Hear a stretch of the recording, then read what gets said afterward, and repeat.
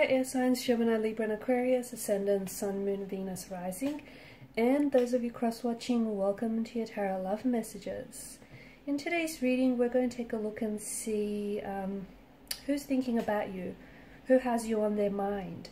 It is going to be a general reading, guys. Please keep that in mind. If you're after personal tarot readings myself, please feel free to reach out and inquire. My email address will be listed below.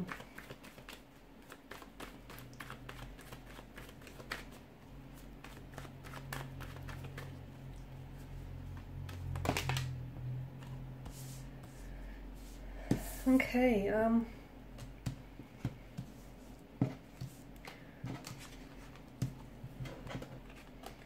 They kind of flew, they kind of came out in reverse, so maybe I should read them upright. Um...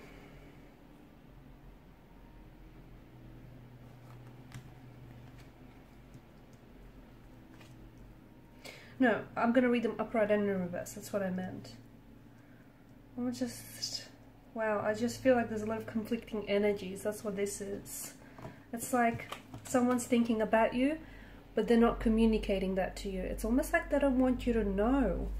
They want to text you, they want to communicate, but they don't know what to say. They're missing you, but they don't show you this. There's just so much conflict in the energies. There's still such a such a spark, such an attraction between the two of you. But they're not doing, they're not taking any steps forward in trying to, you know, really ignite that spark, fuel it into a fire.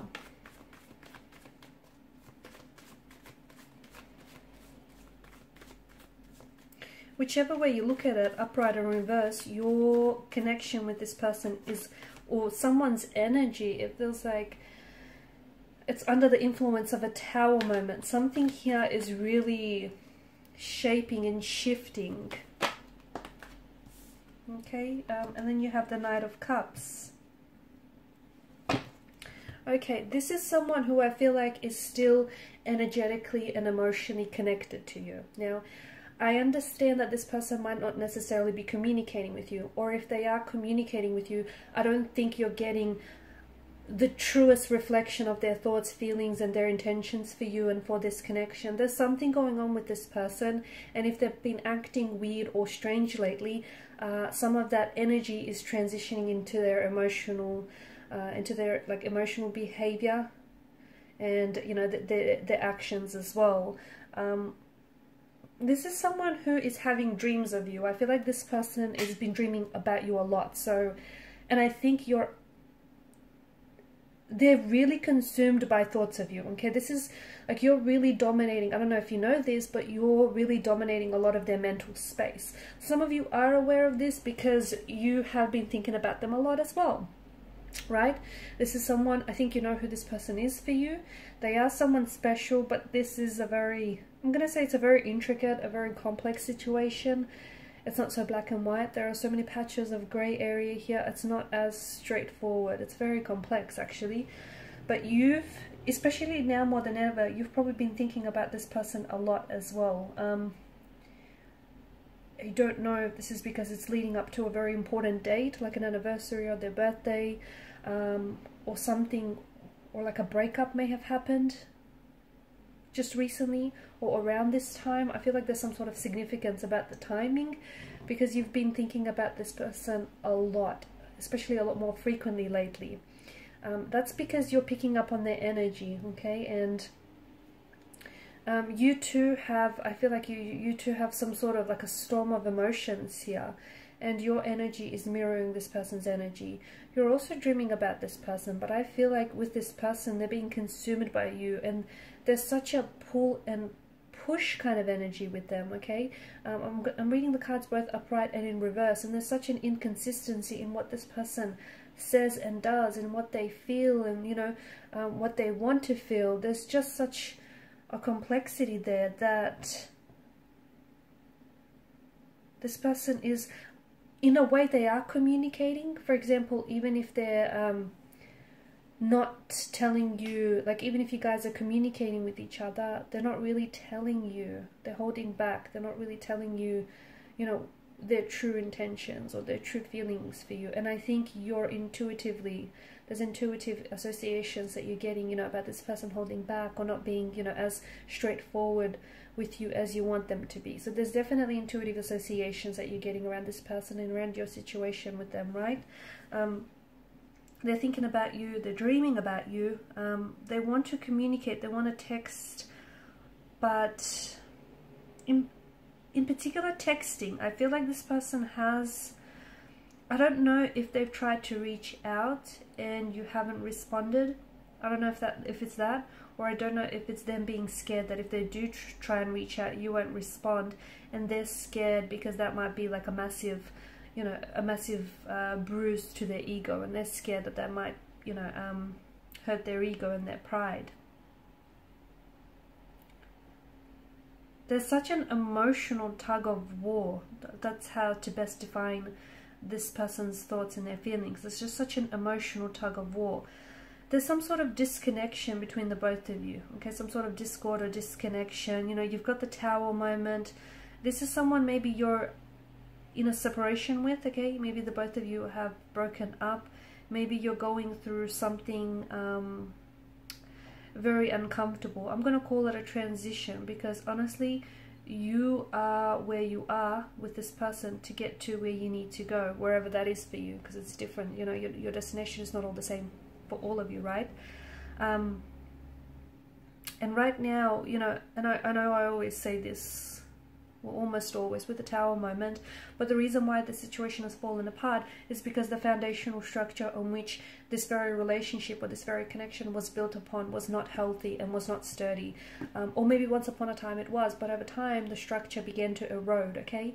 So what's happening right now is if you are at a disconnection or a separation or if you've broken up with this person, there's something there. Or even if you guys are together, you can feel that there's been some sort of shift in the energies. Like, you know, they're not, things aren't how they were in the beginning, or they're not really acting themselves. They may be acting a bit weird or strange. You yourself, you know, you're the expert in your own relationship, right? You know that there's something, something's up. Um, and the tower moment is really an opportunity for you to take a really close look at your situation, what's working, and more importantly, what isn't working, so that you can, you know, and it, it's collapsing. The situation is collapsing on you so that you can rebuild okay? Rebuild the foundational structure of what this is so using you know a more sturdier healthier stronger foundation. This person wants to come back but they're holding themselves back. This person you know they love you but again they're holding back their feelings for you. It's almost like it's almost like they're afraid to love you um, and it's almost like I don't know if this is someone whom you have separated with in the past and they're so scared maybe of going through the same, you know, through the same range of emotions, uh, breaking up, um, you know, hurting all over again.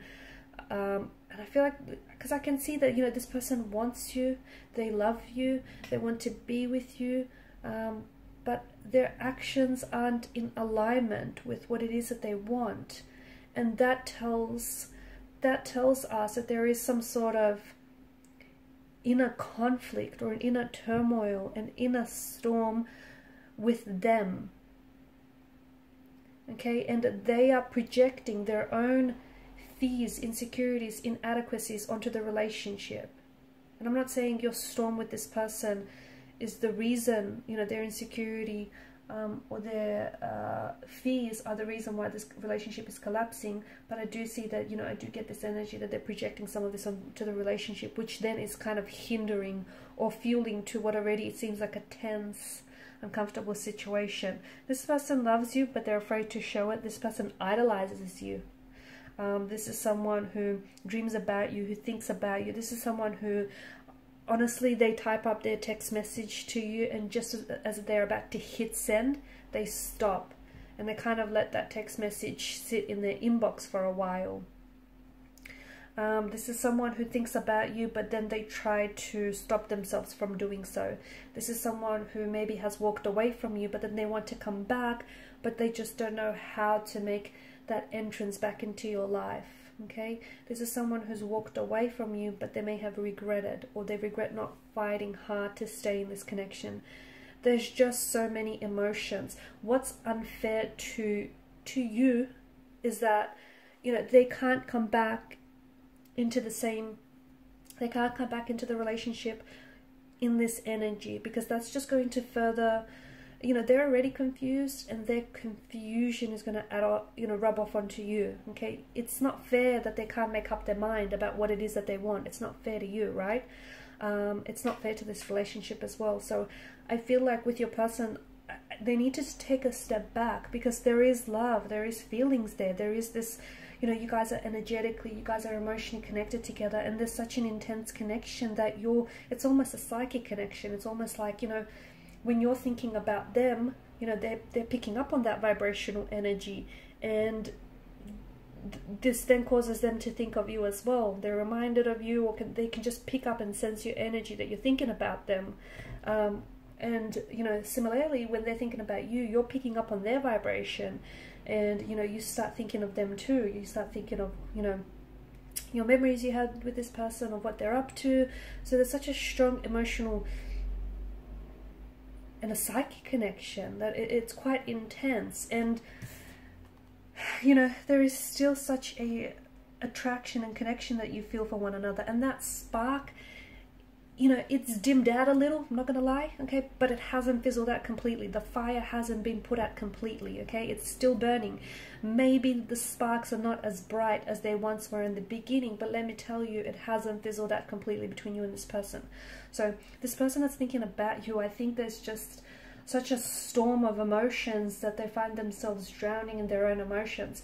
This person needs to spend some more time about what it is that they you know that they want because i feel like there's such a push and pull. They need to decide. They can't you know it, it's a yes or a no. It can't be a maybe. It's you know it's this or it's that. It can't be the other. Do you know what i mean? Like this person needs to decide because it's not not only is it not fair to you it's not fair to them because this feels torturous. This is someone who's back and forth on and off hot and cold.